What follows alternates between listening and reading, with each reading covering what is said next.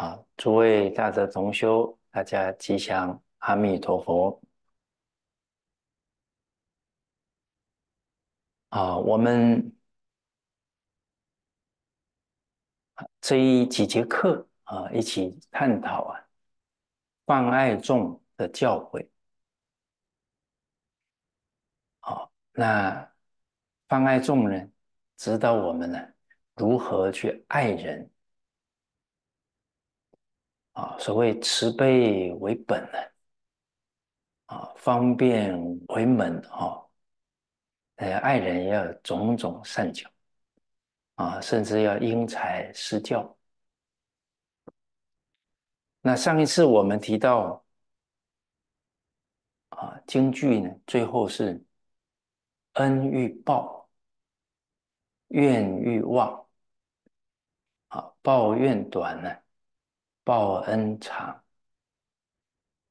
啊，这个愿放在心上的时间呢，越短越好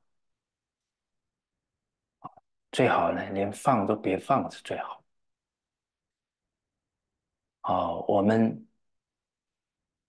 一直啊提到呢，啊，要爱人呢，要先自爱。啊，欲爱人者，先自爱。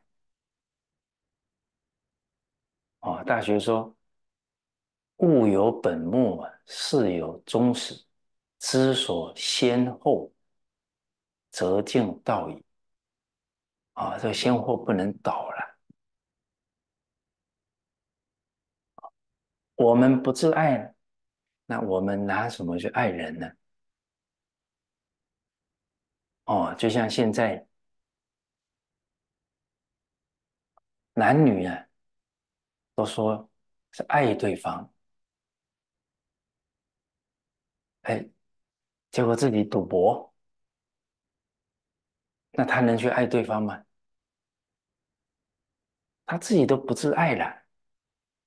哦，比方说打电动玩具打到两三点，不自爱了，怎么爱人？让爱他的人提心吊胆都有了，他怎么可能去爱别人？哦，哎，所以儒家格致成正呢，这个是自爱了，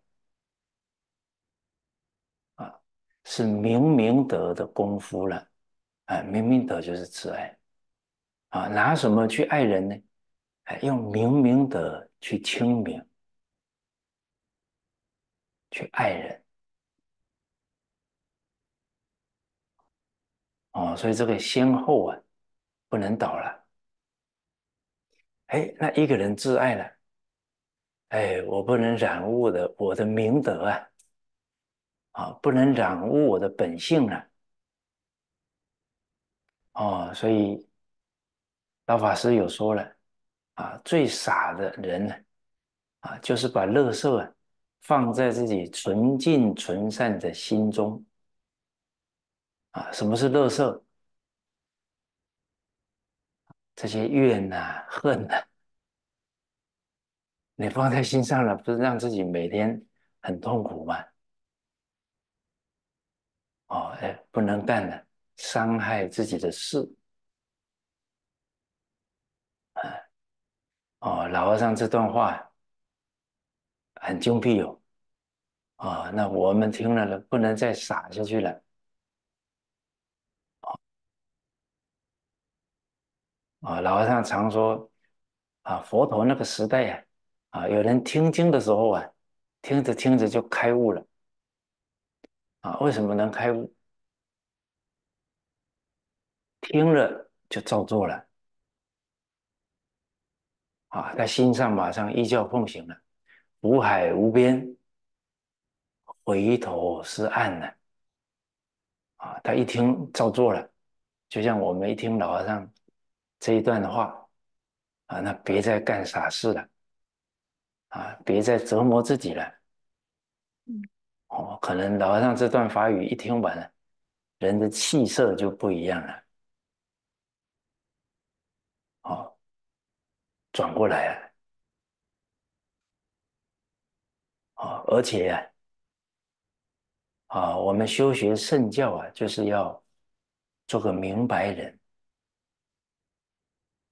明理呀。啊，那人与人呢？老和尚讲经的时候，四种关系呀。哦，哎，像家庭里面，不是这四种关系呀，不可能成为一家人。啊，其实延伸开来，五伦关系都一样的。哎，这四种关系，报恩、抱怨、讨债、还债，他看破了，都是这四种关系呀，那就不会有怨恨了。哎。他去啊，不去伤害别人，怎么来伤害我呢？啊，一切事啊，没有离开因果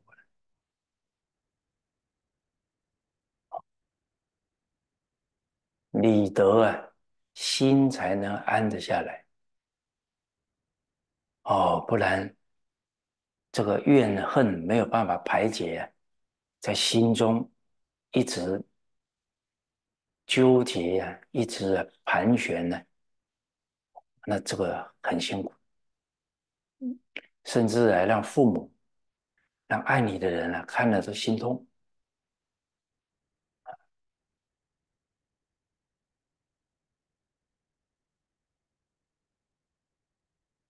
我们解决问题的。自己的眼界高度啊，要把它提升上去啊！你提的够高啊，可能眼前的问题啊，就不是问题了。哦，比方哎，人际相处，哎，对方讲了什么话啊？我们好几天了。内心都很不舒服啊，甚至想的时候都流眼泪所以老和尚说，学佛首先扩宽心量，要能容啊。每一个人在不同的家庭啊，还有社会的成长背景都不一样，都能包容。啊，不然，哎，放不下人家啊，给我们讲的言语啊，还有他的表情态度，那就折磨自己了。哦，而且呀，我们说拉高高度，哎，我这一生的目标是什么？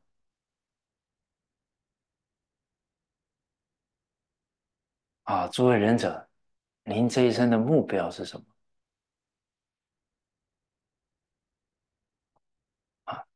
我们闻了圣教了，万般将不去啊，是吧？身体都带不走，身外之物怎么带得走？那请问我们人生要追求什么？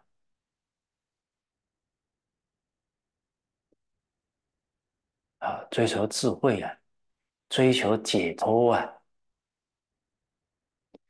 你不了脱生死啊，六道轮回没出去，你做的善事再多啊，还是轮回的善报而已了。所以出轮回才能解决问题啊！外在的东西能解决，那佛在三千多年前他就不用去修道了，他可以做国王了嘛？那么富有，外在的条件应有尽有，但不能解决轮回问题的。哦，所以我们的目标，这一生要了脱啊，这个高度提高了。好，那我现在还为了人与人这一点小事在那里纠结，那我不是跟自己往生的大事过不去了吗？哦，随缘消旧业，啊，把这些恶缘呢消掉，啊，转成法缘。当然，善缘也要转成法缘哦，不能转成贪爱了。哦，不再造新殃。啊，老和尚说：“咬紧牙关，此生正无量寿啊！”哦，咬紧牙关，人生短短几十年了。跟无量寿放在天平上称一下，哪个重要啊？咬一咬好啦。哦，那请教大家，咬多久？你肯好老实念佛啊？哎，三年你功夫成变了，就不用咬了。啊，你肯修忍辱？三年你也不用咬了，咬了，啊，你有忍辱了，你不容易被境界转了，人转境了。哦，黄念祖老居士给了我们六忍，这个是法宝啊。哦，啊，诸位忍者，您最近有没有起情绪？啊，有没有发脾气？那可能就是这个法宝没有用了。哎，明明有法宝没有用出来啊，这个太冤枉了。啊，我们能遇到法宝啊，是我们的福报。啊，我们遇到了不用啊，这个福报就浪费掉了。哎，啊，当然。黄念老举的利人啊，压下去啊，但这个不就近啊，压久了会爆发啊，这是暂时可以用之啊。第二是妄人，度量扩大；第三是凡人，反省，哎，冲突了，因事相争呢，焉知非我之不是？去平心暗想啊！我们有时候闹不愉快了，为什么越来越生气？就觉得对方很过分，哇，就越想越生气。哦，但一个巴掌啊，拍不响啊，可能我们也有。不对的地方啊，人一想，哎，我也有不对呀，这个情绪就降下来了，甚至还会有点不好意思了。哦，可是我们假如觉得就是对方完全是对方错，哦，这个情绪呀就很难下来了。其实我们呢。现在学大乘佛法，我们要了解大乘佛法，这是第三层楼啊。来看净业三福，第一层人天，得先把人做好；第二层小乘，第三层大乘。啊，大乘是发菩提心，这大乘。菩提心是真心呢，说发就能发。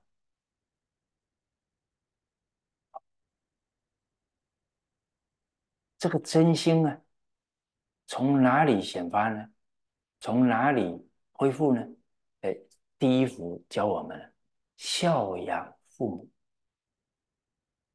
奉事师长，慈心不杀，修十善业。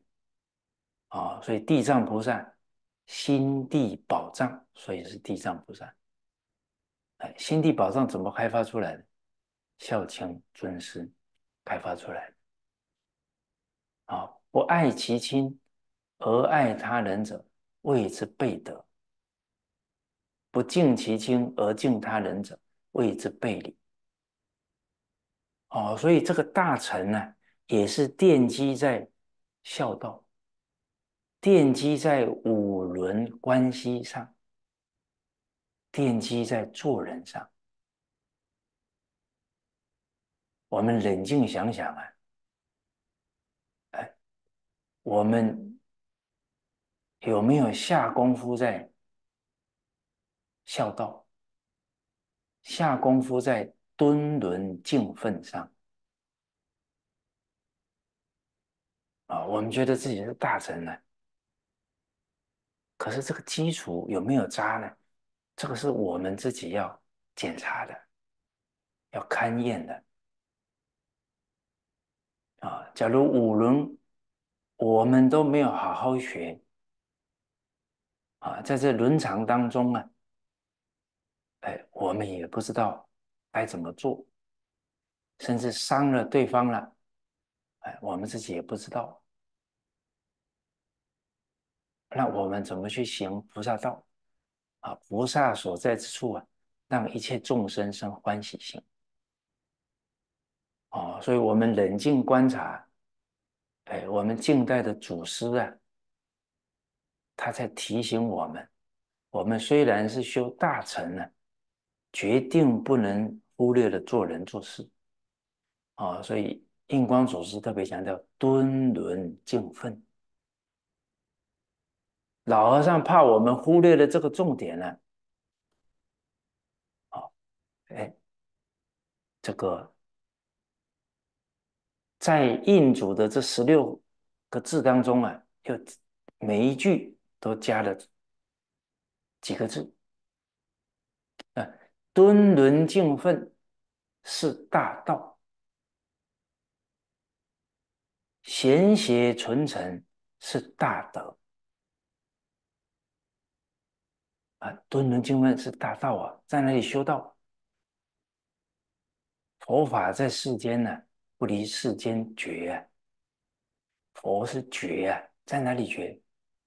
就在所有人与人的关系当中觉悟啊！啊，人无伦外之人呢，学无伦外之学，学问没有超出五伦的范围啊！好，可是我们现在学大乘呢，哎呀，我要解脱了。哦啊，结果偏到呢，这个世间责任呢都不尽了。首先，我们就以身谤佛法了。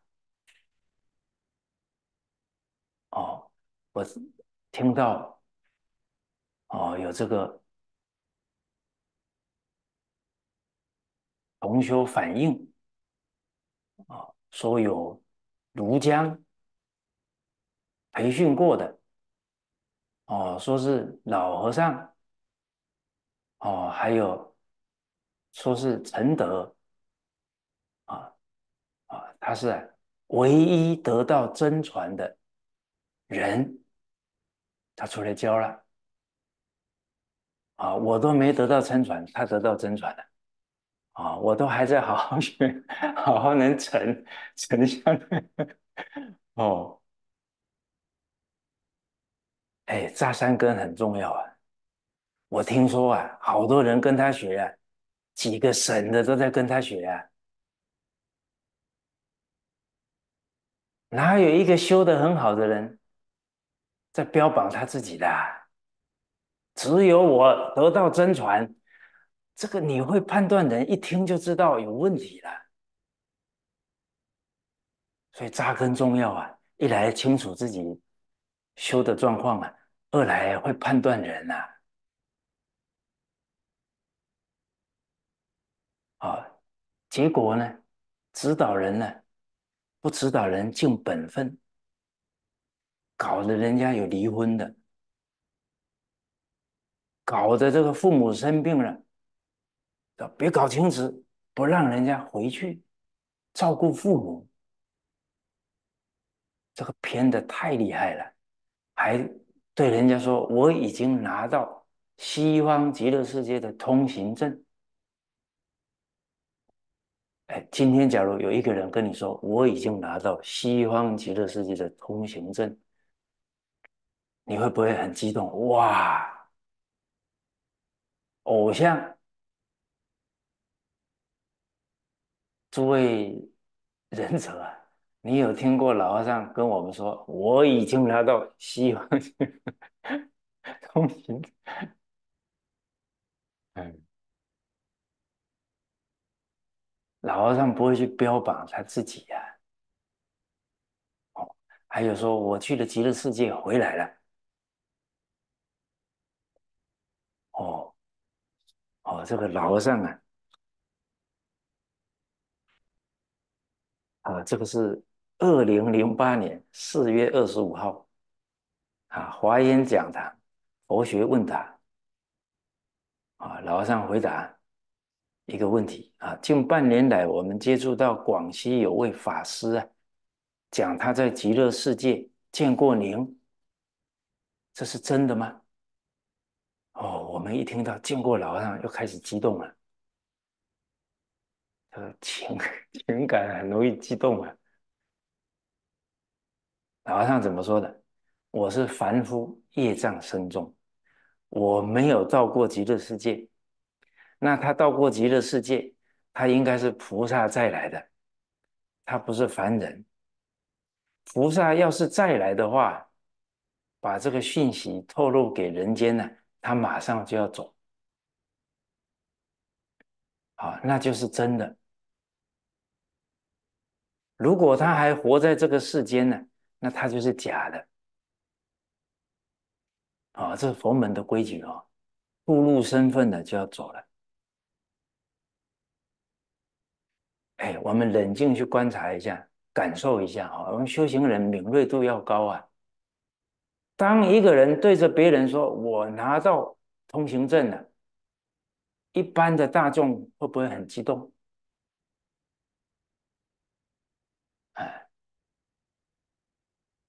那你重点是要帮助众生放下分别执着，放下情执。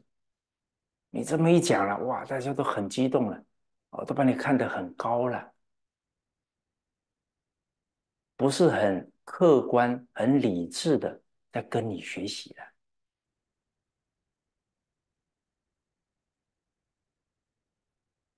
哦，而且他还讲啊，此念《弟子规》，老和尚有这么讲吗？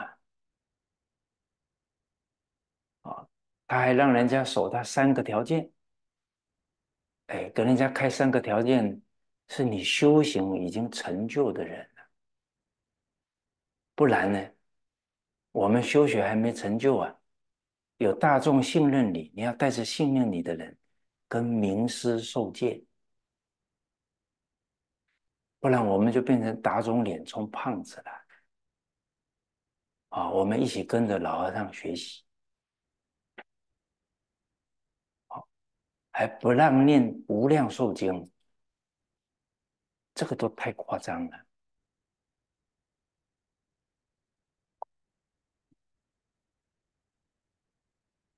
哦，所以大家啊，要理智的，要会判断啊。正法一定教人家敦伦敬奋，这些都搞啊，偶像崇拜了。不是教人家扎扎实实去做人处事，好，而我们看汉传的大乘佛法，它是奠基在儒家、道家的基础啊。我们这一几代人呢，儒家、道家的基础都不是太够。所以老和尚一直提醒我们呢，要扎根。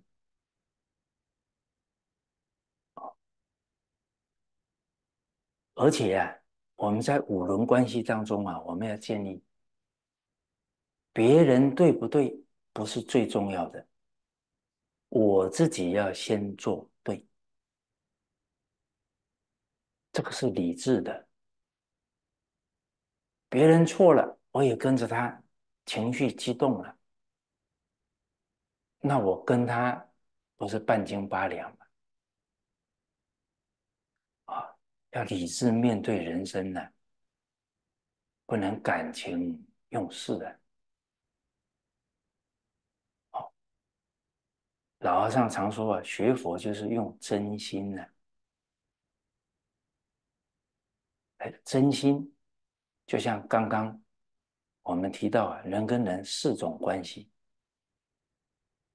啊，报恩、报怨、讨债还债。哎，我们今天修行了，抱怨不报了，只报恩了。你你在想抱怨呢，那就冤冤相报没完没了了，跟我们的终极目标。背道而驰了啊！我们也不讨债了，那个抱怨讨债呀，没有讨刚刚好的了，又讨过了，下一次又变成要还他了。啊，我们只报恩，我们只还人家债啊，还了无债一身轻。今天他骂我一顿呢，哎，我这个债还掉了。没有，不是坏事啊！哦，真的明白道理了，这个世间没有坏事啊。《金刚经》说：“为人轻贱，啊，我没有做错啊，人家还轻慢、侮辱我们，哎，帮我们消过去生三恶道的罪业。”先世罪业因道因堕恶道啊，以经世人轻贱故，先世罪业即为消灭，帮我们消三恶道的业呢？他不消掉，我们要去报道呢？感谢他都来不及了。你看，真明白道理了，不着在啊，他对我的言语，他对我的态度，我们变成着相了。一着那个相呢，那个相就在脑海里挥之不去了。所以学佛啊，很重要，要有般若啊，般若智慧。般若就是要离相，不要向外着相了。一着相就生烦恼啊。要向内，佛法是内学，向内反省啊。反文文字性啊，向内一反省啊，智慧就越来越高了啊！为什么一反省啊？哎，知道自己有错了，有习气了，去改正它，烦恼轻了，智慧就长了。哦，所以我们就报恩还债。啊，而且真心去报恩还债。好，那孔子教我们两个字，他老人家说他所教导的，一以贯之，就是这两个字：忠恕之道。啊，忠严以律己，恕宽以待人。哎，这跟真心啊相应的。哦，有些人很有能力，对自己也很严格，严以律己做到了，但容易严以律人。哎，很简单呢，他怎么做不到呢？那我们是站在自己的角度，很简单，不一定是对方啊。哦，六道轮回啊。就是从我执来的啊！我们这一句话真的听懂了，我们会在一切境界当中啊，把见思烦恼放下，就是见思烦恼就是我执啊，六道就是它变现的，见惑就是自己的见解，自己的角度很强，不容易设身处地的。啊，我觉得怎样？我的看法是怎样？那就容易这个见惑体增长了。失货，失货是自我的感受强啊。所以会修行的人呢，在五伦关系的境缘里面呢，哎，把我见哎换换位思考，把这个我见放淡，把自我感受放下，多去体会对方的感受。哦，所以这个放下是在哪里放啊？每个境缘里面用功啊。哦，比方啊，承德观察，哦，有些家庭啊，很希望把孩子培养成才，啊，这个发心啊，非常非常可贵，啊，也希望啊，他的孩子以后啊，像老和尚这样。可以利益众生啊！有这样的愿的父母啊，这个是特别啊，值得人敬佩。但不能因为这个志向啊，而产生没有顾及缘分成不成熟哦。比方说有这个目标了啊，我去找一间传统文化学校。哦这个为什么《金刚经》说“应无所住”？无所住就是没有执着点。我一定要怎么样的时候啊，这就有执着产生了。一有执着啊，你就不容易感受到客观的一些情况，可能就会忽略一些重点。一直成病啊！古人说的“真心一法不立”呀，我们的心中有一个“我一定要怎么样的时候”，有时候缘不具足的时候，你考虑不到其他的因素了。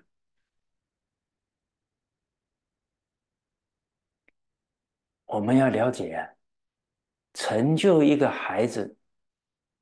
最重要的是家庭教育。你你的认知一产生执着，哇！我找一个学校，找一个老师，我就万事 OK 了。这个执着点就产生了。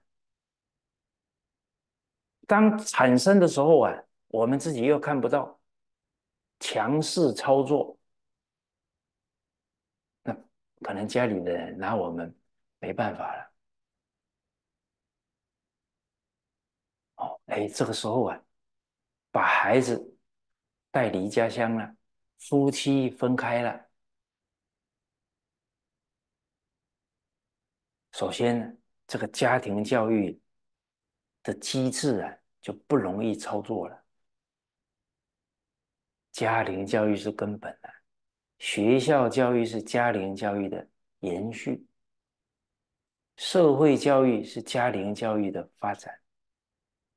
宗教教育是家庭教育的成就。我们任何时候啊，不能忽略的本。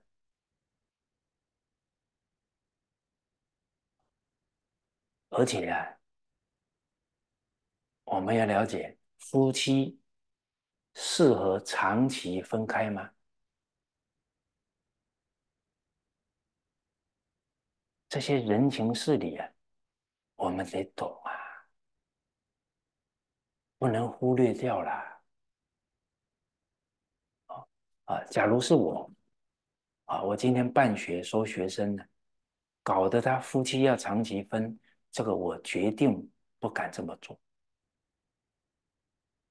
他们家假如出现情况了，我也会很难过啊，我得替他想啊。我们不能理想化了。佛在四十二章经就告诉我们了：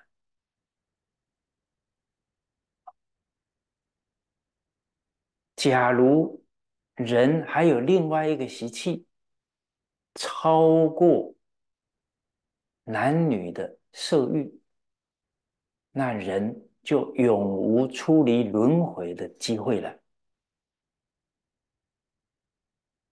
那这一段话就让我们知道啊，啊，这种爱欲啊，是人习气当中啊最强的了。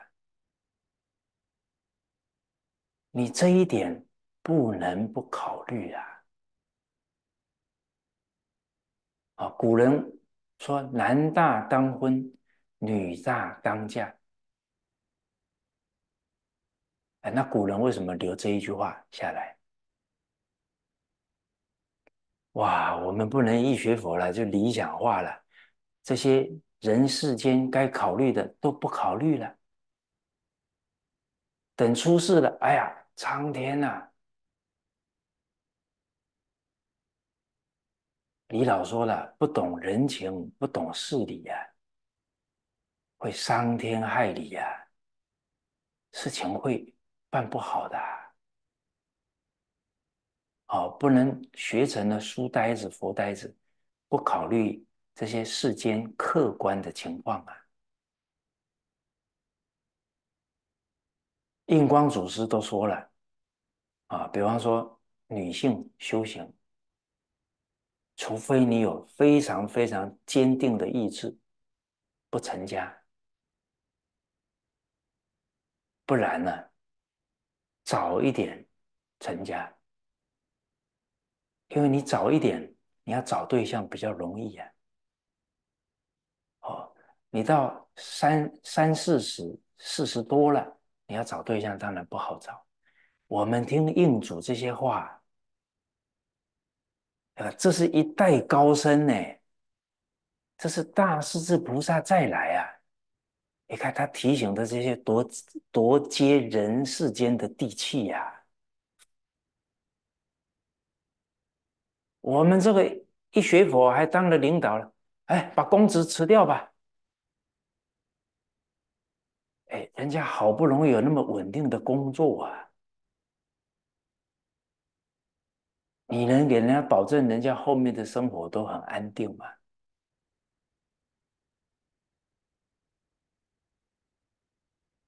甚至于，你有没有考虑到他家里人？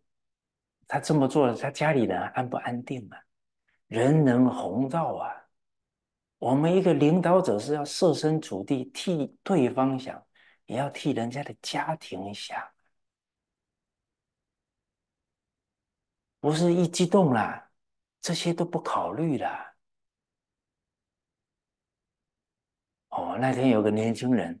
呃，我我辞掉工作，我好好专注来学。我说你爸爸妈妈同不同意啊？他说还不是很同意。我说你做什么事情，你要考虑父母。你这么一做了，他们不能理解，晚上都睡不着觉。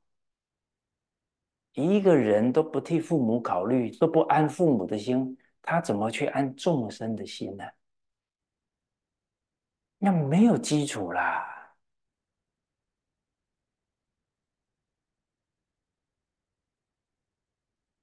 哦，我们学佛啊，不能学成不食人间烟火，都不体恤这些人心，体恤一个家庭，他要面对很多家庭的情况啊。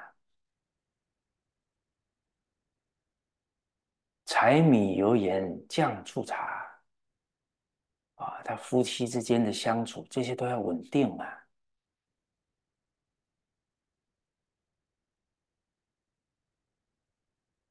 所以，啊，我们在应对这些问题啊，中恕之道，严以律己，宽以待人。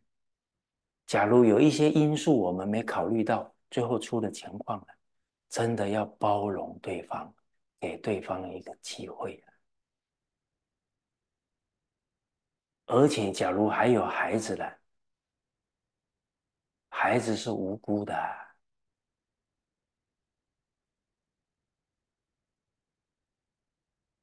啊我们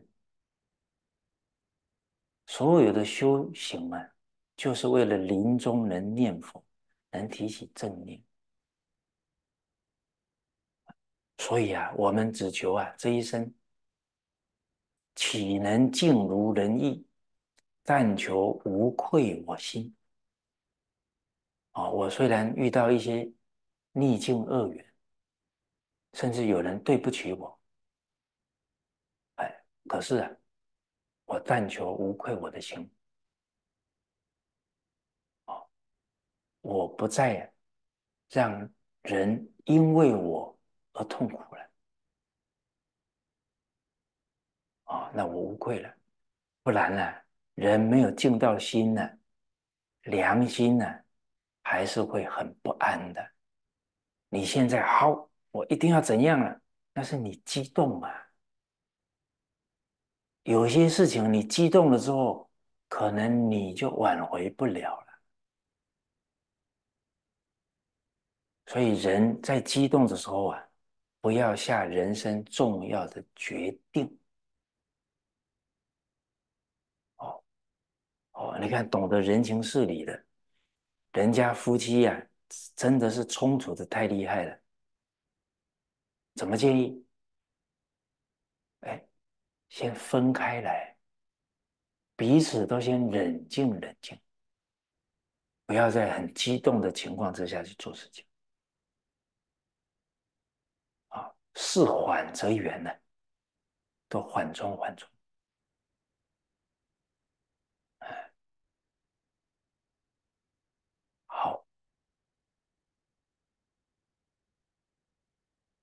哦，刚刚呢，跟大家讲了凡人，出了一些情况呢，有没有我的责任的部分？假如有了，那我先把我的这个责任，我先承担起来，我先来改。好，那比方说，夫妻之间，他错八分。啊哎，你错两分，要怎么办？那我们咬着他的八分，他一定咬着我们的两分的嘛？人世间呢，没有离开两个字，感应。我的心是能感，对方的心是所感。我要指责他的错。调动的就是他的心也指责我的错，都是交感。我反省了，尤其什么？尤其他错的多，你错的少啊！你还反省自己啊，就把他的惭愧心调动出来了。我们任何时候啊，尤其我们是学佛的人呢，任何时候。不要忘了佛开悟的第一句话：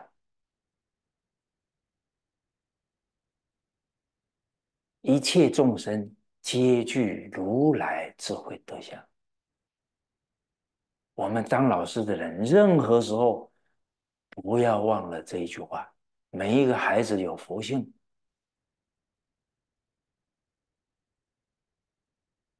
哎，我要怎么做？能把他的本善唤醒，因为我相信有，那有也要有缘分，让他这个本性啊善根流露出来。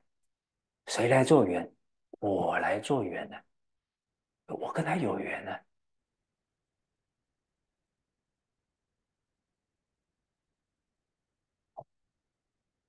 所以，掌握情绪啊，才能掌握未来呀。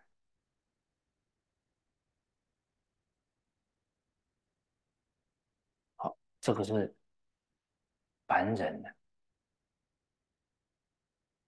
啊。再来是官人啊。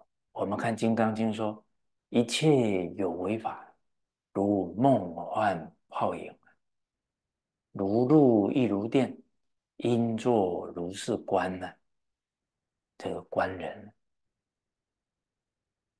哎，我们思维看看，今天一个肥皂泡起来了，你会去跟这个肥皂泡较劲吗？不会吧？它一下就过了。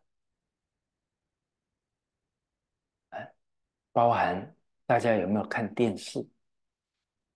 好，你今天看了这个电视剧啊，你会不会因为这个电视剧纠结三个月？会不会？不会吧？哎，说到这一点，惭愧了，我还会呢。啊，因为读初中时候看了《射雕英雄传》啊啊，结果国文考不及格啊，结果那个黄蓉、欧美玲自杀了，害我对汤镇业很生气啊，气了好久。哦，你看我坐下。哦，当然我们不会因为那个剧情执着了啊，是吧？因为知道它是戏嘛。其实啊，我们现在也是戏呀，也是假的。我们现在在梦中啊，别当真啊。当真麻烦就大了。这个祖师说：“梦里明明有六句啊，绝后空空无大千呢。”哦，所以我们很纠结的时候，就想这个就像看电视一样啊，别放心上了，那是假的了。哦，所以《金刚经》这几句话，凡所有相，皆是虚妄啊。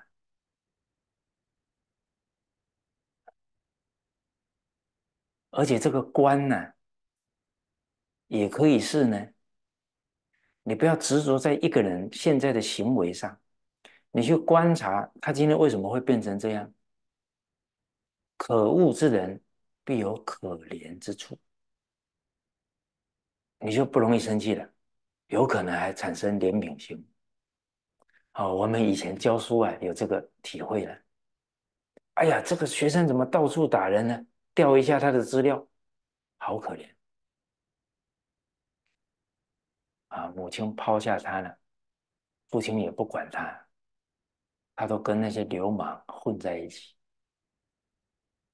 哎，我们真心对待他了，哎，那孩子在你在爱他的老师面前像个绵羊一样，哎，很害羞啊。我送那个《地藏菩萨本愿经》的画册给他看，看完之后，在他手臂上画了一尊释迦牟尼佛。哦，我当时看了很感动啊！他要画那一尊佛啊，要画多久啊？你看那时候他心中都是佛啊，他怎么画出来啊？他一分心就画不出来了，那是他他有他的善根呢。所以，我们任何时候不怀疑一切人有如来智慧德相。啊，哎，我都是反省自己呀，就能把对方的善根唤醒。当然，我们这么做是真心去做，我们不能真心一法不立哈，不能在做的时候又加一法，我非让他惭愧不可。那你加加这个心态就不对。哎，这个心态有点强迫中奖。哎，好，哎，观人啊，再来喜人啊，为什么欢喜呢？哎，所有的因缘都是来成就我的，都是来提醒我啊，我内心还有哪些习气，因为它出现了，我这个习气冒出来了。哎呀，幸好不是临终冒出来。现在冒出来，我可以把它放下。哦，哎，比方啊，现在有哪哪个人我包容不了了？哎，那他的出现就提醒我，我的心量还没有扩大，包容一切人。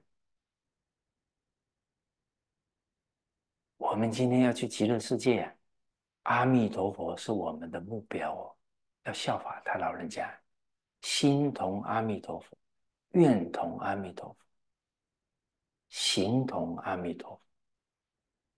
阿弥陀佛在哪？在无量寿经。于诸众生视若自己呀！哎，我们去落实这一句啊。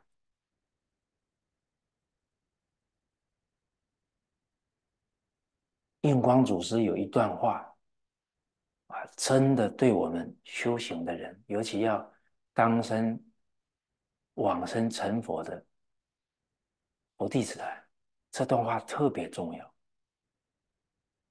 老人家说的，念佛之人必须必须有没有含糊的地方哦。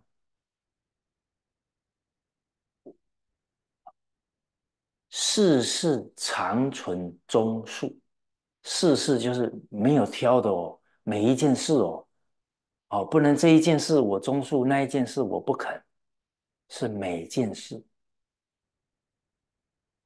现在我们还有不能宽容的人，记住应主这一段，他是要护我们这一生去做佛，今于此界摄念佛人归于净土啊。那请问，大势至菩萨怎么摄受我们？以他的教诲啊，应我们现在的机呀，来提醒我们修行的重点呢？世事常存中恕，心心提防过千。你看，心心是什么？注意每个念头。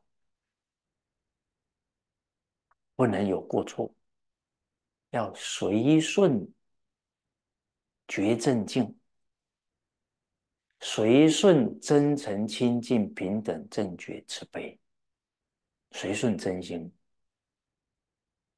啊，老和尚说，轮回心修什么样的法不能往生？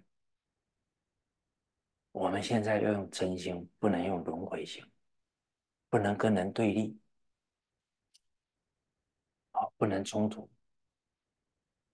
哎，这个心要提防过谦，知过必改，见义必为，义所当为。我这一生有哪些本分啊？在伦常当中有哪些本分，我应该去尽到我的道义。如是之人，决定往生；若不如是，则与佛相反。我们的心跟佛心啊不相应了，绝难感通啊！我们不能觉得我有在念佛了，我就往生了。说实在的，我们不心心存中数。不不事事存中数，心心提防过千，不知过必改，不见义必为。我们念佛的时候，都会有很多妄念起来。为什么？心不安。我们没有尽到义，我们心不安。我们没有中数，我们会跟人事产生情绪对立。这样念佛啊，这些东西都会冒起来。你念再久，心没有办法清净。你哪怕念了五年、十年了，也没有比十年前清净。这个要我们自己检查。学如逆水行舟，不进则退。人越去敬意的，他的心越安。人真的是那个良心会起作用的。我问心无愧，这个心就比较安。好，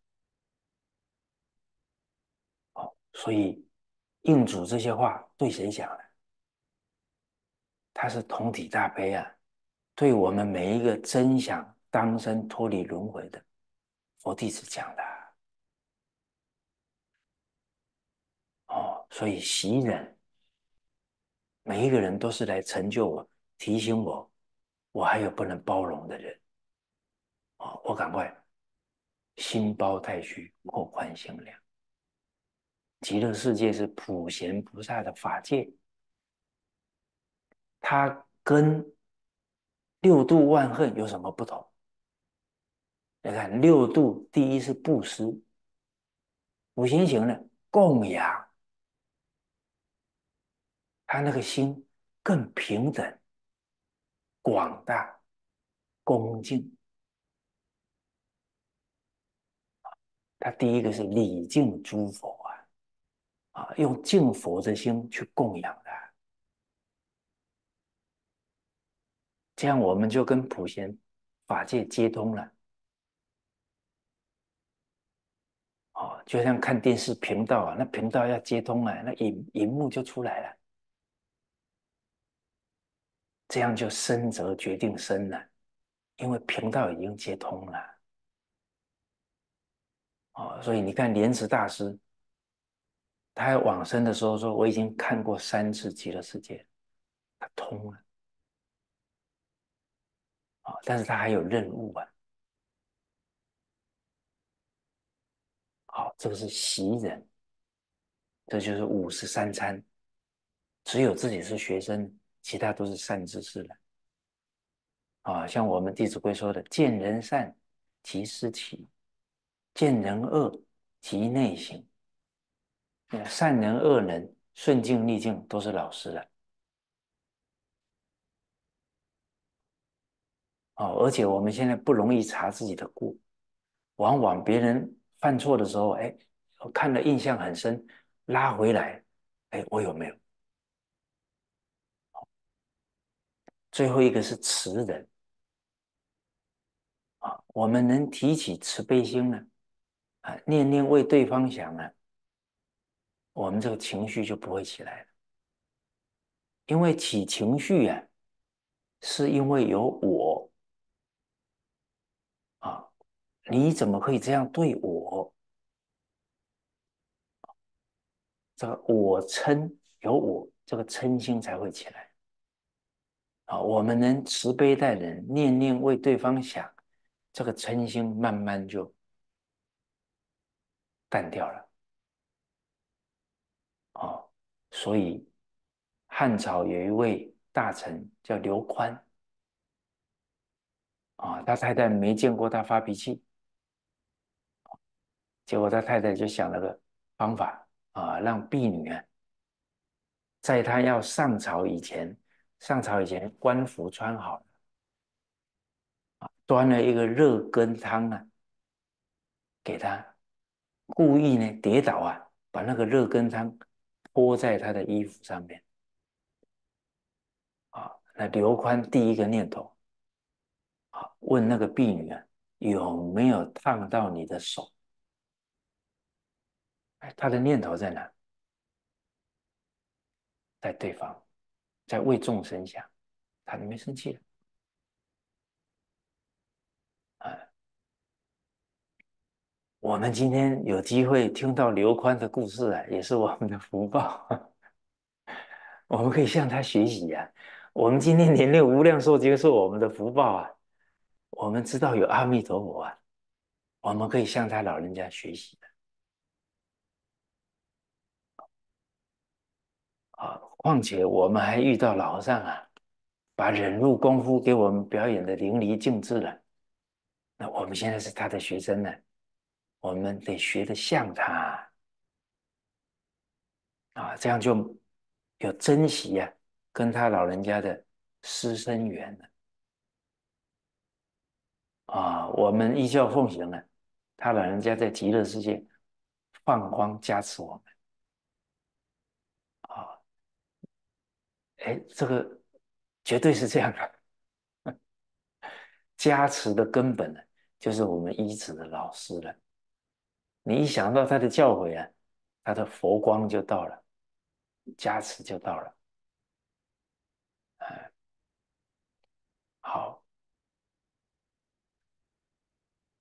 啊，所以老和尚留给我们最重要的教诲，真诚、清净、平等、正觉、慈悲啊！啊，诸佛教我如是存心呢，看破放下，自在随缘念佛。我们得看破世间呢，不要计较了。啊，我们只还债报恩，随缘消旧业了，啊，不再造新殃了，啊，看得破，看明白了，啊，人生很短，别计较了，放得下，比较自在。自在不是说你拥有了多少东西了，这些条件都有了，你才能自在，那自在不了了。因为你已经有求的心了，有贪求的心了，这个贪就会增长。啊，人生解知足了，烦恼一时除了，知足常乐。啊，自在随缘，哎，念佛。啊，所以这个忍辱要忍得住啊。佛在心中坐啊！啊，这个阿弥陀佛佛号要常常放在心上啊！一切境界来了，都提醒我赶快念佛啊！顺境逆境啊，不忘往生西方啊！随忙随险，不离弥陀名号这也是印光祖师的教导了。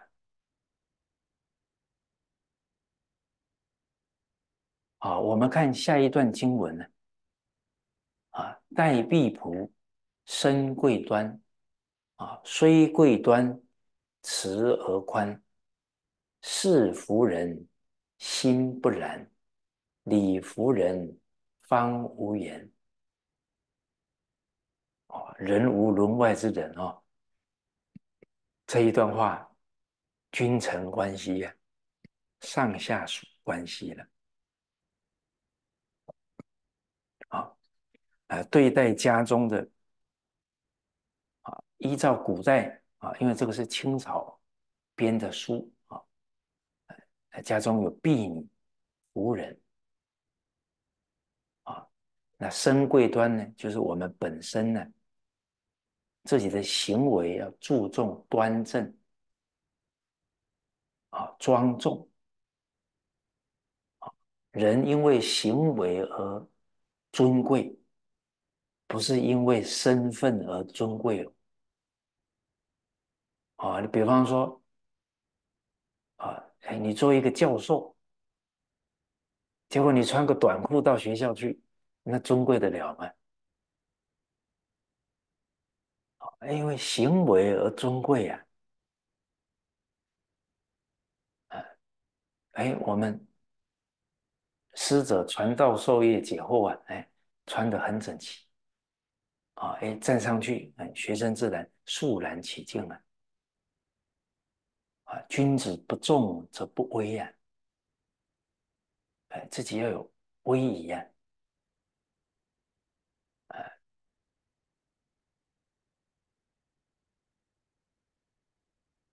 哦，所以不可以轻浮随便，连。当父母啊，也不能轻浮随便，给孩子乱开玩笑啊，孩子不尊不尊重你嗯，哦，我遇到一个父亲啊，在那里抱怨啊，孩子都管不了了，不听他话了。哦，后来我观察，他都跟自己的孩子乱开玩笑，这不妥当了。父亲要有父亲的威威严。啊那个严不是严苛哦不能解错了啊。那个威严是什么？道德的威严哎行为中规中矩。啊哎工作认真孝顺老人。你的孩子看在眼里他自然对你尊重。哦我们小时候看父亲回到家了，啊，还在算钞票啊，好，那我爸爸在银行上班呢，代表什么？啊，可能有一些公事还在那里办。哦，小时候看我爸，走走走，哇，一下一把扇子就出来了。哦，这是一门深入的功夫啊。嗯，啊，我有时候我我印象很深呢。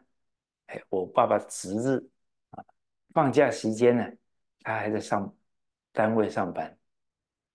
哦，哎，我们去看望他啊，远远看我父亲在那里很认真在那里办公，肃然起敬啊。哦，所以处尊位呀，看父子关系，父母是尊的，兄弟姐妹关系，兄姐是尊位哦，哎，夫妇。哦，那这个就不好讲啊！现在这个一讲错了啊，可能就以后就不好混了啊。好，哎，大家知道这个啊？有一句话叫“家和万事兴”啊！啊，我相信没有人不知道这句话。这句话前面怎么讲？父爱。则母敬，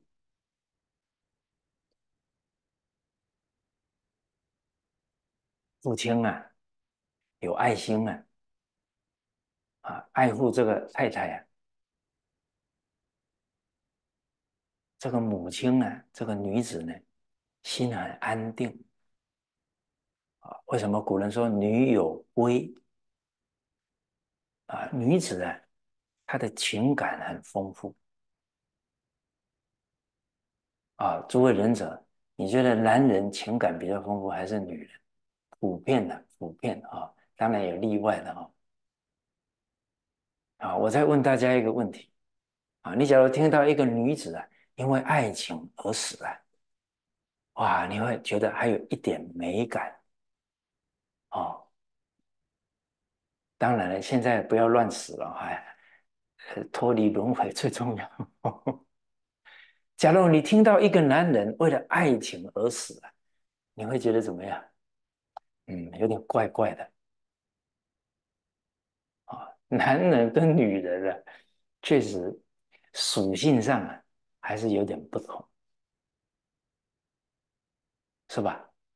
啊，你假如今天哎，啊，下货了，下货了，来搬东西啊！突然有一个女人说：“来来，都我来，都我来啊！” 哦，那这个旁边的男人都看傻眼了啊！嗯，啊，这个父爱则母敬，哎，女人的心很安静、安定了啊。母静则子安，子女啊，心很安宁了。哇！推开那个家门，这个女主人在家，妈啊哦，还闻到香喷喷的呃晚饭味道了！这个心就这个很安定，哎，家真的是避风港啊！假如女子的心不安，那孩子的心怎么安？可是女人的心要安。这个丈夫很重要啊！好，你要让他感受到你的责任心啊，啊，感受到你对他矢志不渝的爱啊，他的心就安定了。哦，那子安则家和啊，和气了，出人才了。孩子在这种和乐的氛围之内。每天是增长善根的，家里面有争吵啊，那孩子每天增长烦恼啊。我们要有责任哦，要尽道义哦。身为长辈啊，不能给晚辈不好的影响啊。人有这种大局观呢，他容易扶得住自己的习气了。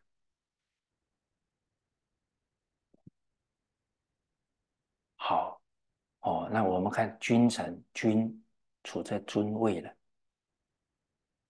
啊，他特别容易将这个关系呀处得和谐。啊，君之视臣如手足，孟子的话，则臣视君如父心。这也是感应，军人呢，哎，感得啊，臣忠了。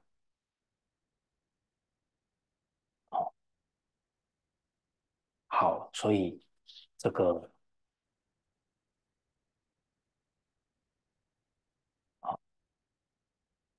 面对啊这个婢仆，我们虽然处在尊位啊，哎，但是我们慈而宽啊，仁慈宽厚，这个才表出我们的尊贵啊。啊，是服人啊，我们用权势啊。去逼迫他，啊，他虽然表面呢不敢反抗了，哎，他的心中不以为然，甚至有可能啊会生怨恨，而且他表面接受了，可能私底下又另外一套了，啊，上有政策，下有对策。你上的政策不能体恤底下的，那他没办法了，他就得在你背后再弄一套了。哦，所以应该是唯有啊礼服人，道理啊感化他人，而且这个道理感化人呢，不是口才哦，是以身作则，人人弘道啊。我们的行为跟经典相应了。其实我们只要所做跟经典相应了，我们就是用真心了。经典就是我们，经典就是圣人佛菩萨从真心里流出来的教诲啊，指导我们恢复真心的。我们真照经典做了，就是真心。真心就能换对方的真心，把它善根调动起来了。啊，啊，是道德的威，啊，啊，不是狂妄，啊，不是暴察，暴察就是哇，很严格，都紧迫盯人，不是，不是这样的。哦，哦那用道德啊，啊感化对方呢，才能让人家心悦诚服啊，啊没有怨言了，啊方无言了。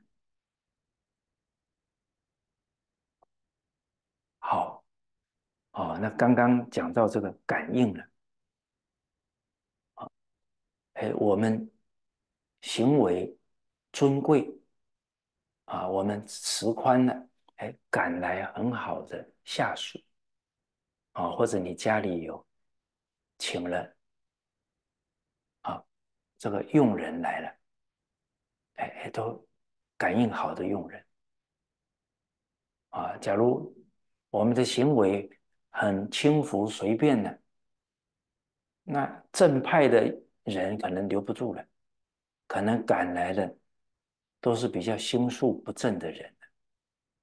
哦，那这样家里呀，可能就会有问题了。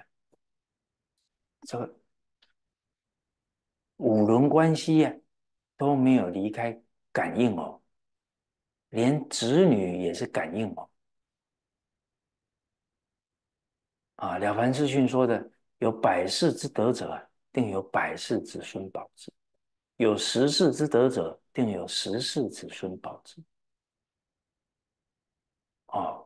当然，我说到这里啊，你的脑海里不要浮现你的子女啊，来给我讨债的啊啊，不要着相啊，他们都有如来智慧德相。哦，我看过不止一则哦，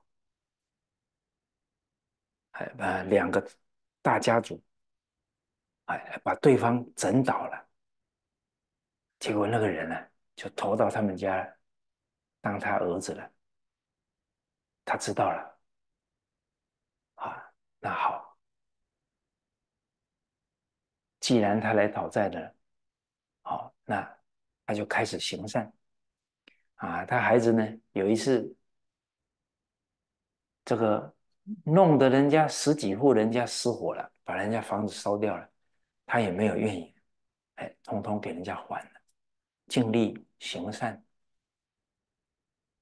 结果他的孩子在十几岁的时候啊，突然认真读书了，业都是可以转的，啊啊，遇缘不同。好，有好的缘呢，它就开始转动了。我们尽力去行善呢，哎，这个助缘力量就很大，就能把它转掉了。好，好，有佛法就有办法哦，哦，而且我们要充满积极正能量，哎。面对事都是乐观进取的。哎，你的孩子就，你的学生呢，受你影响啊。哎，好，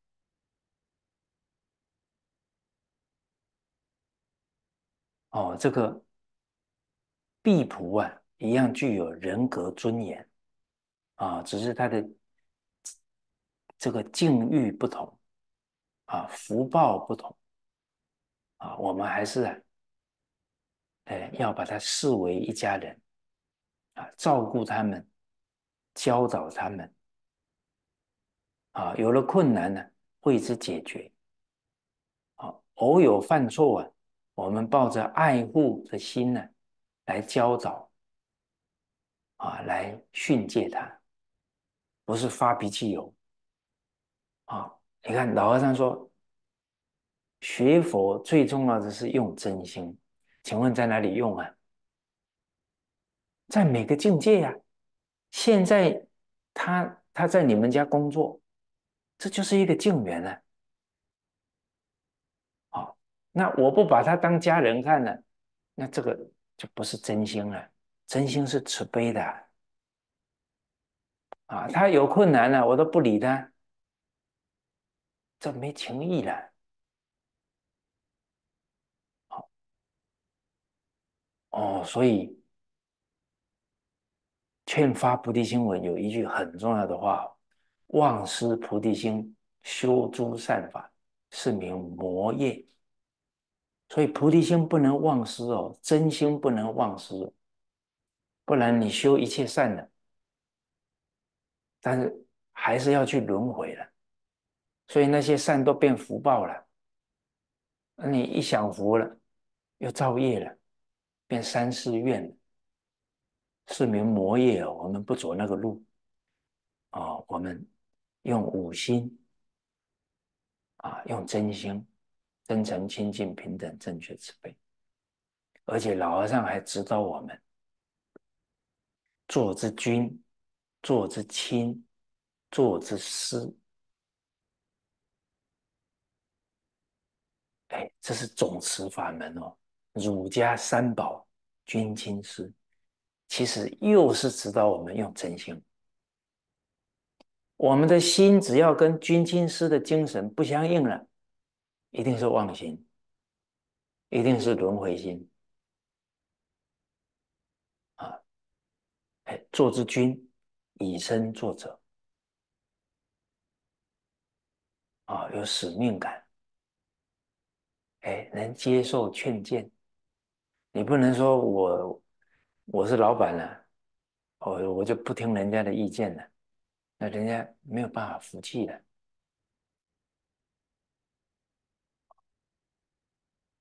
还知人善任啊，要能纳谏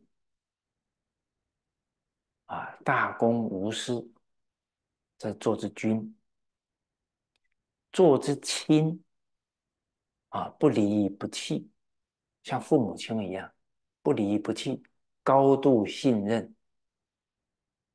他有错了，但是还是信任他可以改，信任他有本善，啊，不求回报。那父母不求我们回报啊，啊，第三，做之师，抓住机会教育点，哦，所以哎，他犯错了，这就是一个机会点，但是是用爱护的心啊提醒他。我们在世间呢，啊，办政治也讲赏罚，啊，你经营一个团，经营一个班级，也有赏罚，哎，又不不能说不食人间烟火啊，啊，我们已经学大乘佛法了，也不用赏了，不用罚了。哇，那到时候班级都乱了怎么办呢？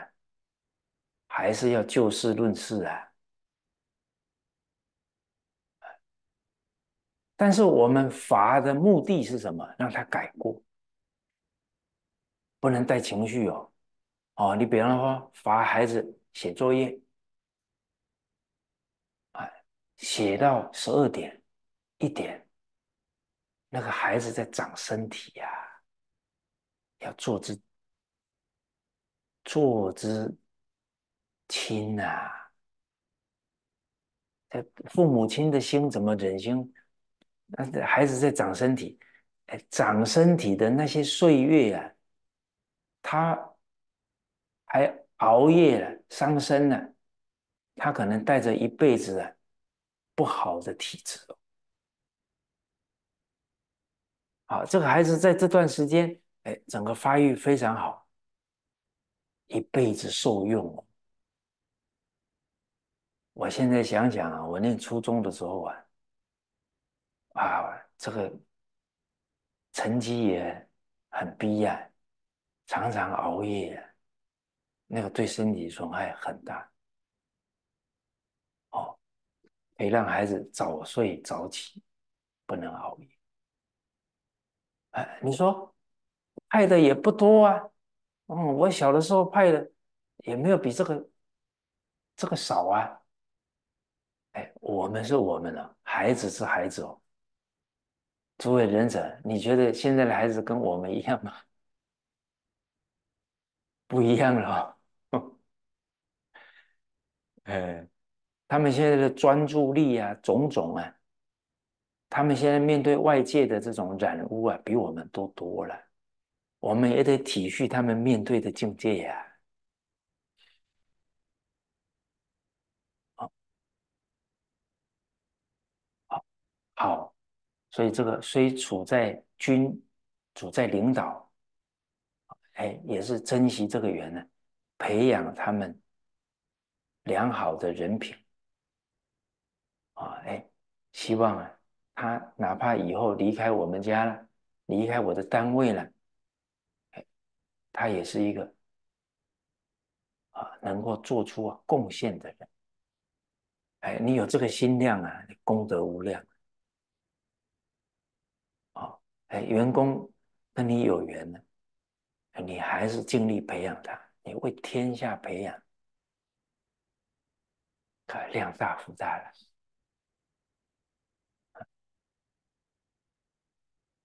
啊，因为人世间的因缘聚散了。